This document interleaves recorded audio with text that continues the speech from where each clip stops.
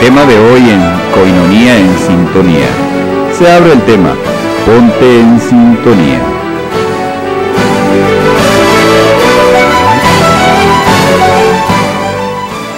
Excelente noche a cada uno de ustedes, queridos hermanos y hermanas, que en estas horas de la noche nos acompañan. Gracias a mi productora y conductora Lulu Calzada de Coinonía en Sintonía, a todo el staff y a cada uno de los que hacen posible que estemos en esta noche eh, acompañándolos y de manera especial comentándoles también, como siempre, la editorial de este día.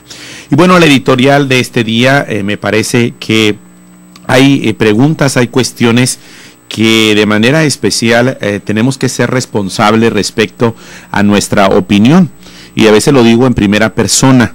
Eh, a veces las eh, opiniones o las respuestas que damos ante ciertas situaciones no pueden ser las del helado, las de la hamburguesa o las de las enchiladas. Estuvieron ricas las enchiladas, ay sí, me gustaron mucho, estuvieron muy suaves y basta. Hay elementos trascendentes y estos medios de comunicación como Coinonía Radio son conscientes de que nuestro punto de vista es importante respecto a temas fundamentales y es parte de lo que hacemos aquí en Coinonía en Sintonía.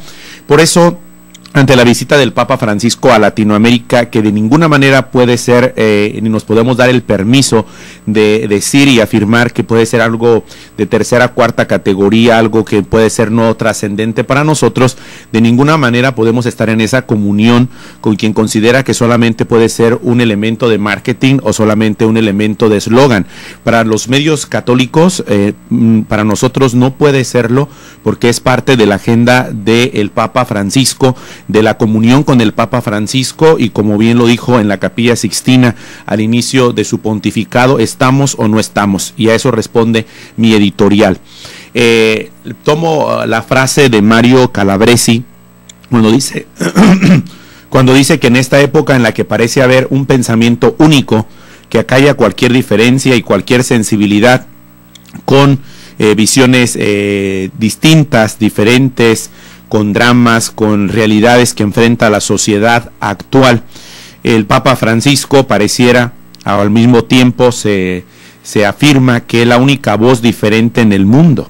Y esto ya coloca una situación con hechos, con realidades que de eh, alguna manera nos hacen también cuestionarnos y poner la situación del Papa Francisco sobre la mesa de los medios devocionales como es en este caso nuestra radio. El Papa Francisco nos recuerda que somos hombres y mujeres que tenemos derechos pero también deberes hacia los que son demasiados pequeños o demasiados eh, a veces eh, ancianos para los que están demasiado enfermos o débiles para caminar solos.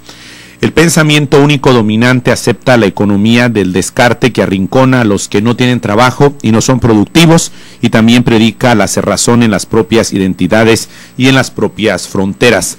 Tratar de recordar de dónde venimos, volviendo a descubrir el valor de los abuelos, entendidos como los que mantienen la memoria la única manera para saber hacia dónde vamos. Sin memoria no hay futuro, el mismo Papa Francisco lo ha dicho, y solo con un pacto generacional y social que sea exactamente lo opuesto de las guerras civiles a las que asistimos todos los días, podemos pensar en salir de la crisis. Entonces, el primer punto sería... Eh, ¿Por qué hablar del Papa Francisco? Porque, bueno, el Papa Francisco, además, no metemos aquí el argumento de que es el Papa, el pontífice, el máximo jerarca de la Iglesia Católica, el pastor. No, simplemente porque es una única voz distinta en el mundo que lo ha comprobado con hechos y que no es simplemente una especie de grabación la que estamos escuchando del Papa Francisco. Me parece burdo afirmar que del Papa Francisco estemos escuchando solo algo eh, que de alguna manera parecería como un disco rayado. Me parece que siempre, Él no es la novedad. La novedad es siempre el Evangelio, lo será siempre sus gestos, sus detalles, y por otra parte, no podemos encontrar de alguna manera o ir de sorpresa en sorpresa, sino más bien poder tener el tiempo, y es lo que hacemos a través de este servicio, de poder eh, tratar de reflexionar lo que eh, está ocurriendo y lo que está siendo decisivo en este campo de la visita de Latinoamérica.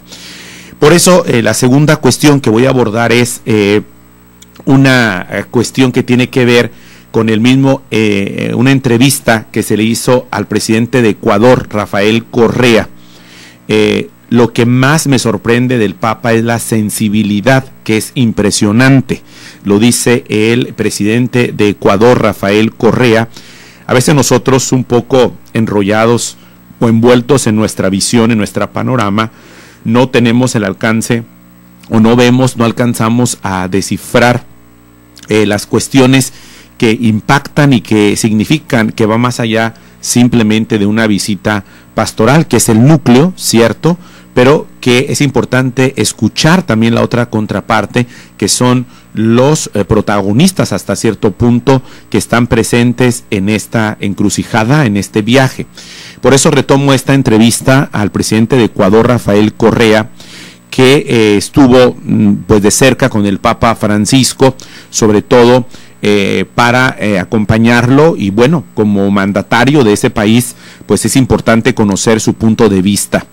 Eh, la entrevista la hizo el sitio de Vaticanistas Vaticanensar sobre esta visita del Papa a Ecuador y cuáles han sido unos puntos neurálgicos de esto y no simplemente dar opiniones que pueden ser demasiado simplonas. El presidente Correa dice, ¿qué tal le pareció la visita del Papa? Él dice que ha sido un momento especial, una bocanada de frescura para la patria y para toda América Latina. Gracias a Dios, el Papa atrae a mucha gente, había millones de personas en los diferentes momentos de la visita y no tuvimos ningún incidente serio que lamentar, dijo el mandatario ecuatoriano. Ante la pregunta sobre qué fue lo que más le sorprendió en los encuentros que tuvo con Francisco, dijo que lo que más eh, lo cuestionó, lo sorprendió fue la sensibilidad que es impresionante del Papa Bergoglio. Ante la cuestión sobre qué piensa en las palabras que el Papa Bergoglio dirigió a su país, dijo que habría que meditarlas. Ahí está la, la pregunta, la respuesta que yo les planteaba al inicio de esta editorial de hacer un poco más exhaustivos eh, respecto a nuestras opiniones, respecto a, una visita eh, pastoral, que repito, no es simplemente un marketing. Ahora, que ya se cuelguen y que ya eh, se hagan los souvenirs y los llaveros y todo eso, no es solamente la parte de una visita pastoral. Tendríamos que verla en todo su conjunto y saber a qué nos referimos cuando hablamos de una visita pastoral que no solamente lleva los souvenirs, que no solamente lleva a los miles de personas y las porras y las emociones.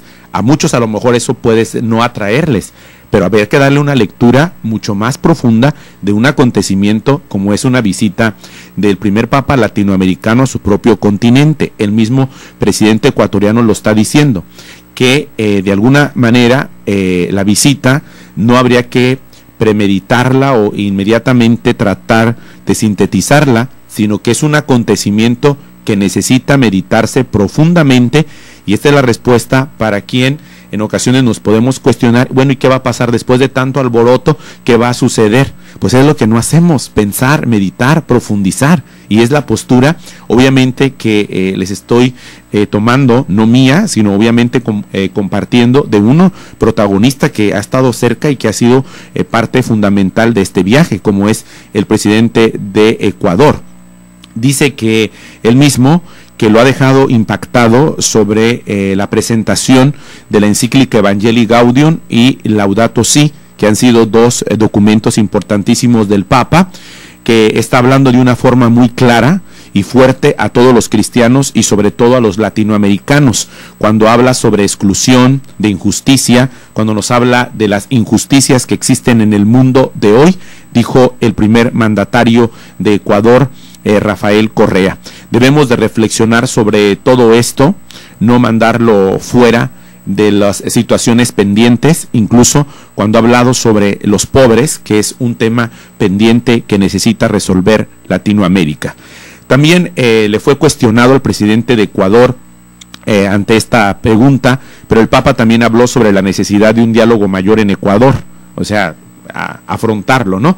Dice, claro que hay que dialogar y estoy totalmente de acuerdo en que se debe dialogar, pero nosotros dialogamos con todos desde el primer día. Desgraciadamente hay grupos que creen que dialogar significa imponer la propia agenda política, creyendo que es la única. Estos son momentos cruciales de una visita pastoral que, insisto, va más allá de los souvenirs, va más allá de las porras, va más allá de los cantos y que de ninguna manera podemos eh, permitir que se sintetice solamente en esa visión uh, burda y pobre una visita del Papa Francisco, eh, y menos como medios devocionales, como medios católicos.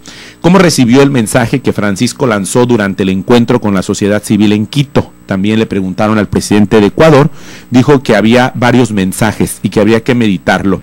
Lo que más le agradó fue el que tiene que ver con el cuidado del planeta, con la figura de San Francisco de Asís en el mensaje de la gratuidad de lo que hemos recibido como don y cultivar.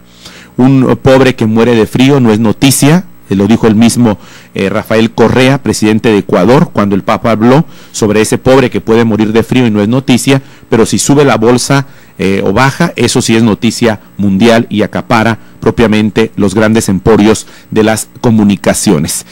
El Papa dijo que la fe revolucionaria, ¿qué opina de esto? Le preguntaron al presidente Correa, dijo que la fe es revolucionaria y que está totalmente de acuerdo. Todos pueden interpretar estas, palabras, estas palabras según, según su conveniencia.